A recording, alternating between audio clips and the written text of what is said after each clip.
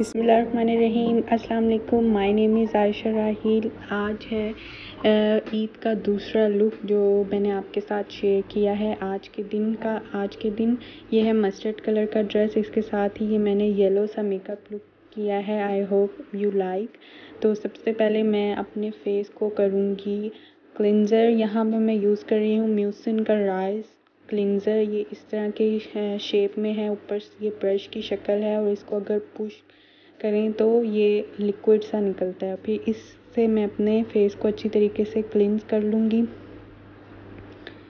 इतना soft brush है कि आप इसे आइज़ के ऊपर भी यूज़ कर सकते हैं। देन अपने फेस को वॉश करने के बाद मैं टावल की मदद से अपने फेस को ड्राई कर लूँगी। दैन नेक्स्ट मैं अप्लाई करूँगी लॉरियल की हारलॉन एक्सपर्ट मॉइस्चराइज़र और अपने फेस को अच्छी तरीके से मॉइस्चराइज़ कर लूँगी। Now my face is ready for makeup अब मैं यूज़ कर रही हूँ म्यूसिन का प्राइमर और अपने फेस को कर रही हूँ प्राइम आज हम आ, अपने फेस मेकअप से ही शुरू करेंगे। पहले मैं आइज़ मेकअप करती थी लेकिन आज मैं अपना पहले फेस मेकअप करूँगी। उसके बाद मैं अपने आ, अंडर आइज़ को करूँगी कलर करेक्ट मैं आइज़ को करूँगी करेक्ट और यहाँ पे मैं कलर करेक्ट यूज़ कर रही हूँ। इसके बाद मैं ब्यूटीफाई बामना की ये दोनों फाउंडेशन लूँगी और अपने फेस पे अप्लाई कर लूँगी। ब्रश की मदद से एक नेचुरल कलर में और एक बेज कलर में है। ये अप्लाई करने के बाद मैं गीले स्पंज की मदद से अपने फेस पर डैप डैप करके इसे अच्छी तरीके से सेट कर लूँगी।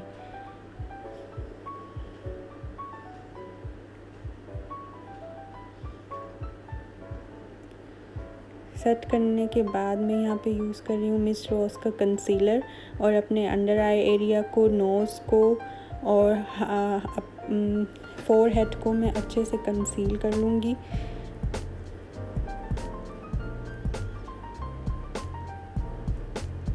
जहाँ जहाँ कंसीलर की ज़रूरत है, वहाँ पे मैं इसे यूज़ करूँगी और अपने एरियाज़ को अच्छी तरीके से हाईलाइट कर दूँगी।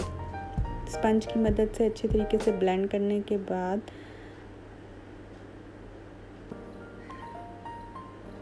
मैं यूज़ कर रही हूँ यहाँ पे कंटोर पैलेट। मिस रोज़ की कंटोर पैलेट ले रही हूँ और आप हमेशा कलर्स को मिक्स कर लें। अगर आप एक शेड से ही कंट्रोल करेंगे तो वो शेड जल्दी से ख़त्म हो जाएगा। लेकिन अगर आप मिक्स करके यूज़ करेंगे तो आपके शेड्स जो हैं बरकरार रहेंगे। इसके बाद जो मैं यूज़ कर रही हूँ काशिश का कॉम्पैक्ट पाउडर अपने अंडर आई एरिया को कॉम्पैक्ट पाउडर से ही मैं सेट करूँगी नोज़ पर। जहाँ जहाँ मुझे ज़रूरत है शाइन एक्स्ट्रा ख़त्म करने के लिए, वहाँ पे कॉम्पैक्ट पाउडर यूज़ करूँगी और जहाँ पे मैंने कंटोर किया अच्छे से ब्रश की मदद से कंटोर को मैं अच्छी तरीके से ब्लेंड कर दूँगी।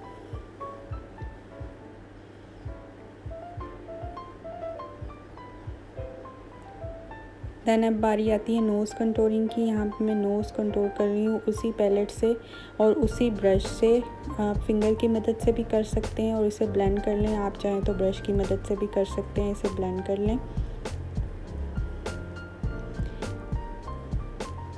देन बारी आती है आईब्रोज़ की। अब हमारे आइज़ की तरफ़ यहाँ पे मिस रोज़ का आईब्रो पोमेड ले रही हूँ और अपनी आईब्रोज़ को फिल कर रही हूँ।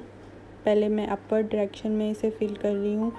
फिर मैं इसे अच्छी तरीके से फिल करने के बाद डाउनवर्ड डायरेक्शन में लाइन लगा के फिर इसे नीचे ऊपर की तरफ़ फिल करूँगी। और फिर स्पूली की मदद से इसे अच्छी तरीके से सेट कर लूँगी। देन मैं यूज़ कर रही हूँ यहाँ पे eye primer Beautify by Aamna का और एक लाइन अच्छी तरीके से पहले बनाने के बाद फिर अपनी पूरी आईलिट पर मैं प्राइमर अप्लाई कर रही हूँ।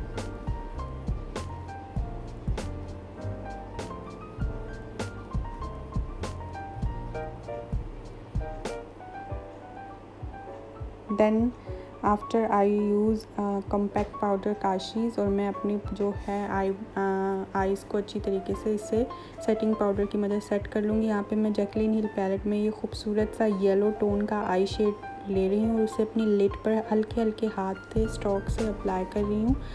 पहले अपनी लिट पर अच्छी तरीके से अप्लाई करूँगी इसे। लेकिन आपने डार्क कलर्स को हमेशा लाइट कर लाइट लेकर अप्लाई करना है और फिर इसे आहिस्ता आहिस्ता बिल्डअप करते जाना है। फिर दूसरे फ्लफ़ी ब्रश की मदद से मैं इसे अच्छी तरीके से ब्लेंड कर लूँगी। देन ब्यूटीफाई बामना की पैलेट लेके मैं ये वाला कलर लेकर इसे जिस तरह आईलाइनर अप्लाई करते हैं, उसी डायरेक्शन में मैं ऐसे ट्रायंगल बनाकर इसे अप्लाई करूँगी।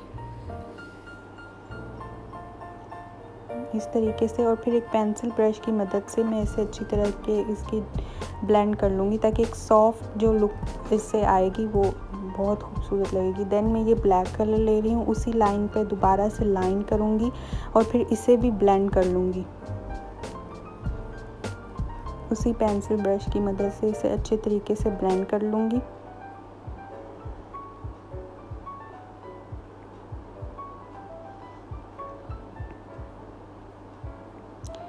मैं कंसीलर को लेकर यहाँ से जो भी एक्स्ट्रा बाहर निकला हुआ शेड उसे एक लाइन की मदद से क्लियर कर लूँगी और ताकि जो ये लाइन है, ये बहुत ही खूबसूरत नज़र आए। ये देखें आप।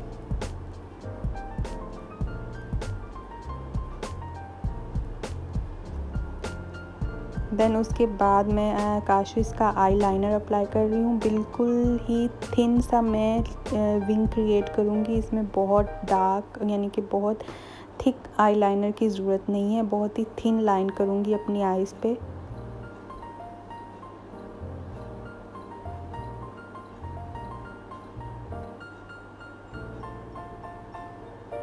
दैन उसके बाद मैं मस्कारा अप्लाई करूँगी मैबलिन का क्लोसल मस्कारा है ये और अपनी आइज़ पर अप्लाई करूँगी।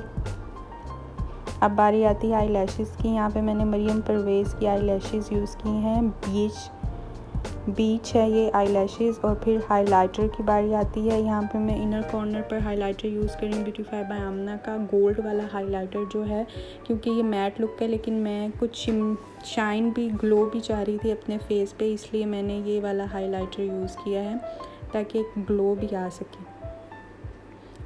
ब्लश में ब्यूटीफाई ब्लश में यूज़ कर रही हूँ मिस रोज़ का और यहाँ पे लिप्स में बिल्कुल लाइट कलर यूज़ कर रही हूँ। हल्का सा पिंक सा शेड है और मैंने आई शेड पैलेट में जो ब्राउन कलर है ना उससे भी अपने जो लिप्स पे अप्लाई कर लिया है।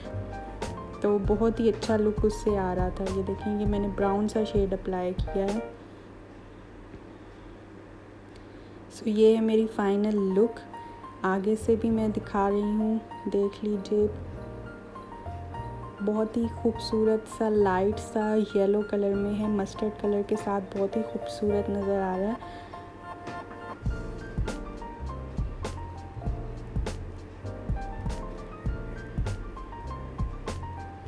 I hope you like the video share and subscribe my channel Allah Hafiz.